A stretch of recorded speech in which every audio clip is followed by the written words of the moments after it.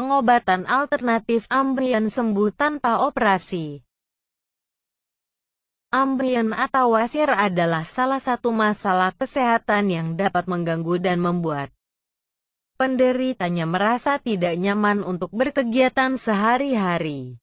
Pasalnya, penderita penyakit tersebut akan selalu merasa kesulitan saat bergerak dan juga duduk terlebih saat kondisinya sudah terlalu parah.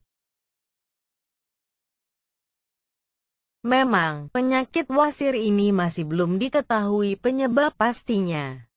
Namun, kebanyakan kasus pasien penyakit ini terjadi akibat meningkatnya tekanan pada pembuluh darah di area sekitar anus. Hal tersebut mengakibatkan pembuluh darah mengalami pembengkakan serta peradangan. Wasir terjadi melalui beberapa tanda dan gejala sebagai berikut. 1. Pendarahan saat buang air besar. 2. Gatal dan iritasi di daerah anus. 3. Nyeri dan tidak nyaman. 4 pembengkakan di sekitar anus. 5. Ada benjolan di dekat anus, sensitif dan sakit. Ada dua jenis ambien yang bisa terjadi, yaitu ambien internal dan ambien eksternal. 1. Ambien internal Ambien internal adalah ambien yang terjadi di dalam anus. Umumnya, Anda tidak dapat melihat adanya benjolan atau merasakan gejalanya. Namun, kondisi ini dapat menyebabkan iritasi saat buang air besar, duduk terlalu lama di toilet.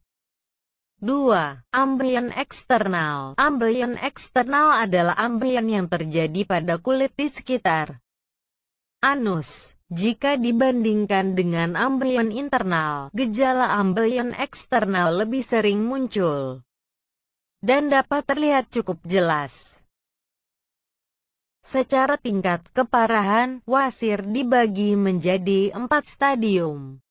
Stadium 1 jarang sekali dirasakan sehingga belum mengganggu aktivitas kita. Cirinya antara lain yaitu pada anus terasa panas, gatal, susah buang air besar.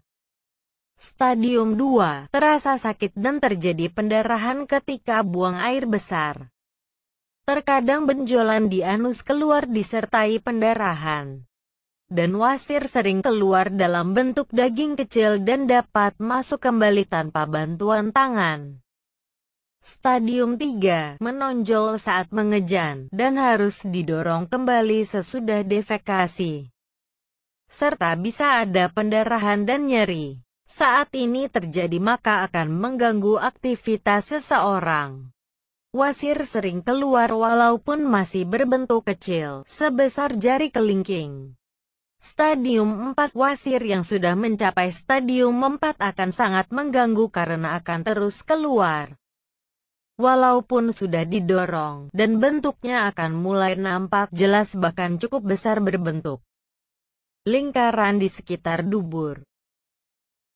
Pada dasarnya, wasir bisa sembuh dengan sendirinya tanpa memerlukan obat saat gejalanya masih ringan. Akan tetapi, akibat gaya hidup serta kebiasaan yang dilakukan oleh penderitanya, Bukan tidak mungkin penyakit ambien akan menjadi semakin parah.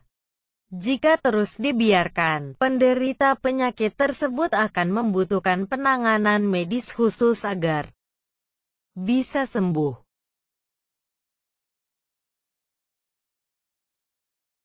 Bagaimana cara mengobati wasir tanpa operasi?